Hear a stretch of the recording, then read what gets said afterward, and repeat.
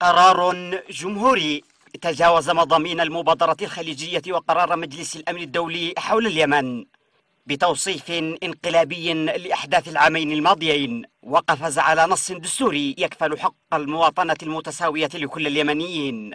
القرار رقم 178 بنظر مراقبين حول الدولة إلى جمعية خاصة.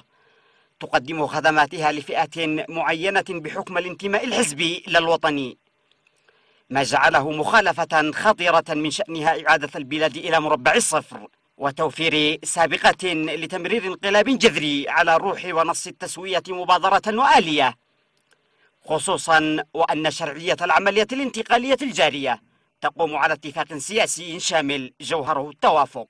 يؤكد نص في المبادرة الخليجية على أن الأطراف الموقعة على الاتفاق فعلت ذلك رغبة منها في تحقيق تسوية سلمية لأزمة سياسية. حسب ما عرف قرار مجلس الأمن الدولي رقم 214 لعام 2011 أحداث العامين الماضيين. لكن القرار الجمهوري ذهب إلى إنشاء صندوق لرعاية ضحايا ما سماه الثورة الشعبية الشبابية السلمية ناصيا ضمن ديباجة التسمية الحزبية القبلية العسكرية المسلحة ما اعتبره المراقبون توصيفا انقلابيا خارج سياق المبادرة ويحمل بعدا سياسيا في المقام الأول.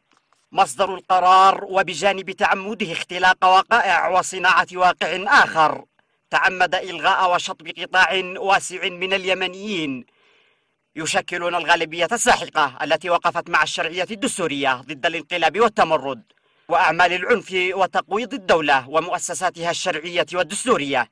ليس هذا وحسب. القرار أيضا أسقط حق شهداء القوات المسلحة والأمن في الرعاية الحكومية. وتجاهل الجنود والضباط الذين سقطوا في خضم أحداث الأزمة بنيران الميليشيا المسلحة بمختلف مسمياتها وتشكيلاتها في عدة محافظات. لا لشيء عدا أنهم حفظوا كرامة الدولة وحافظوا على مؤسساتها وحالوا دون سقوط المعسكرات غنائم بيد المجاميع المسلحة.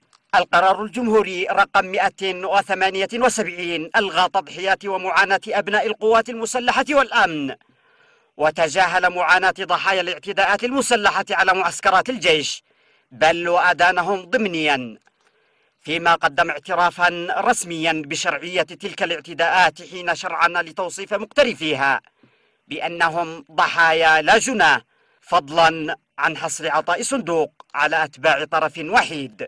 منذ اندلاع الأزمة السياسية مطلع العام 2011 سلكت أحزاب اللقاء المشترك طريق العنف للانقضاض على السلطة.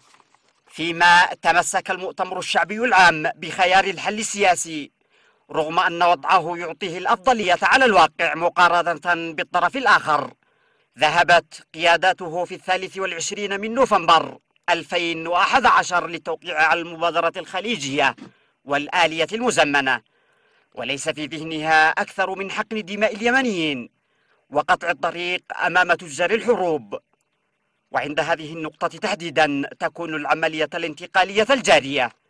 مشيئة مؤتمرية بامتياز. سياف الغرباني اليمن